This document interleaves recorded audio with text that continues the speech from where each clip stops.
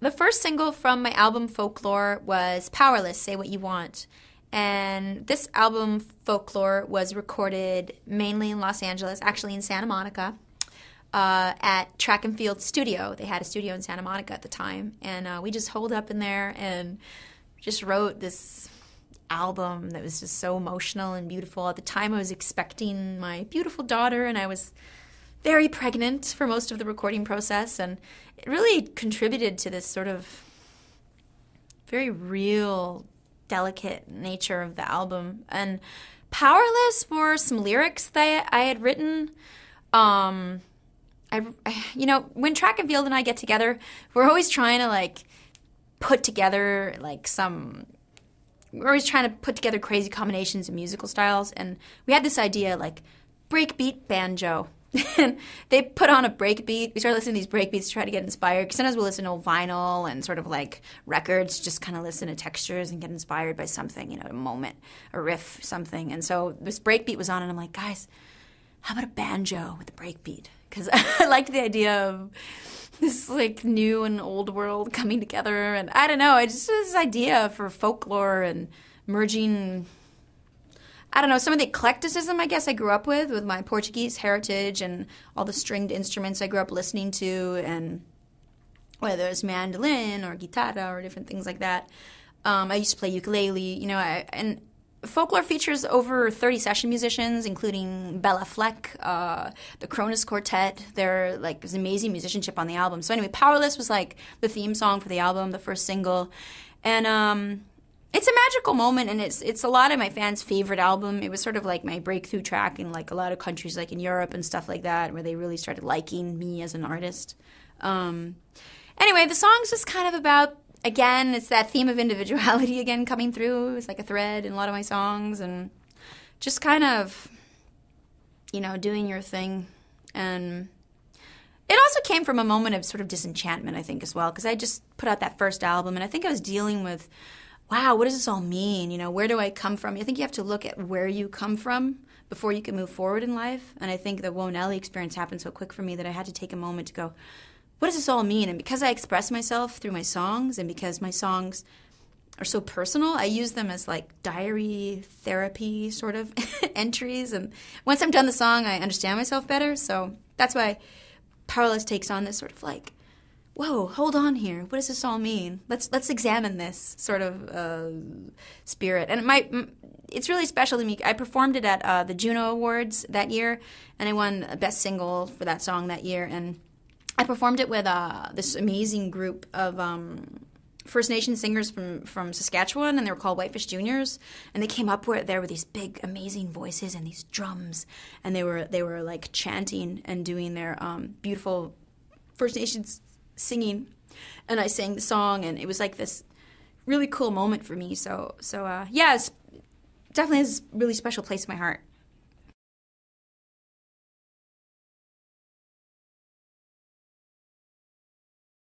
Try is one of my favorite songs on the Best of album, and um, it's the song that fans mention to me more than any other uh, of my songs in terms of this song, you know, is really special to me, or you know, this song helped me through a difficult uh, crisis in my life, or um, and when I sing it live, there's real emotion in the audience where the song really uh, means something different to each person, and there's there's a lot of crying going on when I sing that song, and I cry as well. Um, I think it's a song that really connects the physical and the spiritual in a way because it's like it's about you try so hard, you know, in life to just do your best and to get through these crazy emotions we have. Like it's so hard dealing with emotions, you know. I think especially mm, when you're growing up, you know, when you're really maturing,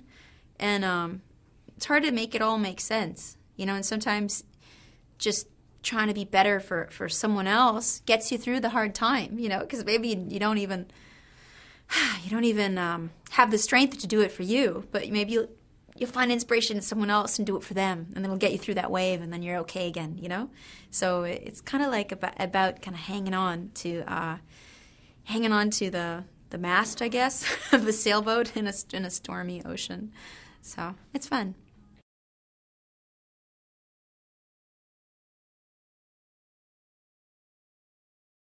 Forza is uh, my first uh, commissioned song. it was a com- commission work.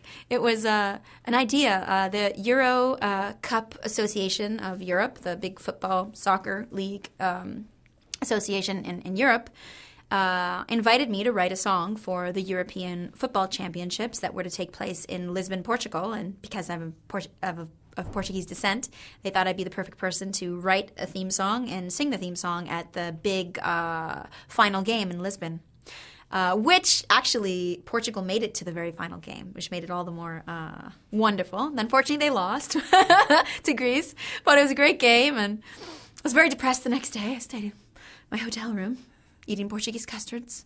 They lost, but uh, but anyways, that's not the point. The song was uh, created for stadiums, so I really it was on folklore. But um, track and field and I had so much fun, and it was a challenge because come on, you know, big soccer songs first that comes to mind for me is Ricky Martin Cup of Life, which is like, ole, ole, how do you beat that? You know, it's amazing. So that was the challenge. We were like, we got to make it as good as, I don't know if we accomplished that, but I knew that uh, we had to take a little, give it our own spin. So I thought, okay, let's make it more melancholic. Let's make it more about the spirit of football, the beautiful game, the way it incites passion in people, you know? Let's take a little more, you know, angle of melancholy here. So um, again, we were still on our breakbeat meets a banjo thing, so we invited Béla Fleck to play banjo on it, and I wrote the chorus uh, with this theme word forza, and forza kind of has no direct translation in English, but it's kind of like you know, kick ass, do it, go for it. On, you know? so I thought, okay, people used to shout that to me at my concerts, like Forza Nelly, Forza, all my Portuguese fans, Luso fans all around the world. Um, which have been really supportive of me, you know, in my career, like all my uh, Portuguese fans around the world. So, um, yeah, so the song, the melodically, it kind of is like an old Azorean folk or church song. And I grew up listening to tons of like Azorean folk and church music in the church, and my mother was a singer in the choir, so it was like really deep uh, within me that style. So anyway, the como uma força, como uma força is very Portuguese, very Azorean. And uh, so anyway, we made that the chorus, and then yeah, we wrote English verses about the beautiful game, and uh, I sang it at the final, and it was a great moment.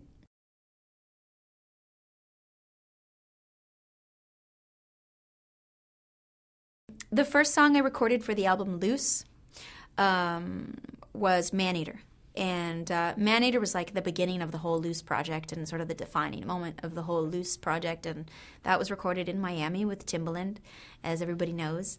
And um, Tim and I hadn't seen each other in five years. We hadn't worked together since we shot a video for a Miss Jade song we did um, called Ching Ching. And before that, sort of performing on stage together on my Whoa Nelly tour or something like that we got together on the phone and and um, realized we had been listening to similar types of music, like a lot of um, rock stuff and sort of rock electro bands that were coming out.